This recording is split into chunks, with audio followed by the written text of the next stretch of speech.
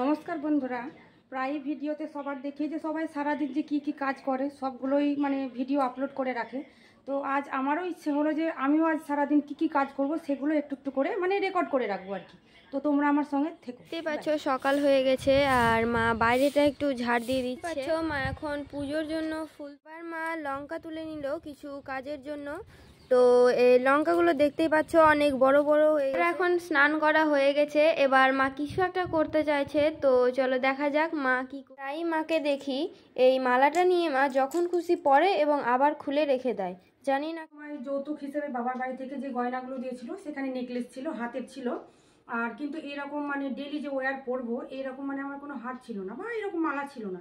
তো আমার হাজবেন্ড আমাকে এটা দিয়েছে, তো আমি বাড়িতে যখন কোনো অনুষ্ঠান হয় বা বাড়িতে কিছু একটা মানে ইচ্ছা হলো তখন মালাটা পরে ফেলি। আর বাইরে গেলে সিটি গোল্ডেরগুলোই পরি। তো আমার এটা একটাই মালা, তো আমি চাই না মানে নিজেকে একটু ই করে রাখি আর তো বন্ধুরা, আজকে আমি রান্না হিসেবে এই ফুলকপি করব, রান্না, ফুলকপি, আলুর তরকারি আর চিকেন করব। তো এই দুটোই আজ হবে। তো এগুলো আমি কাটাকুটি শুরু করি।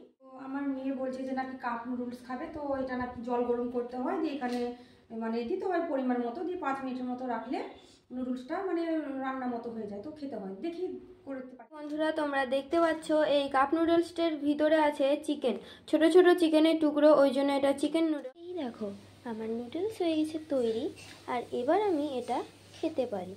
আর এটা আমি অনেকক্ষণ পর্যন্ত জলে সিদ্ধ করতে দিয়েছিলাম যাতে এটা ভালোভাবে ফুলে গেছে অ্যান্ড অনেকটা হয়ে গেছে। তোমরা দেখতেই পাচ্ছ, এর ভেতরে এখনও জল আছে।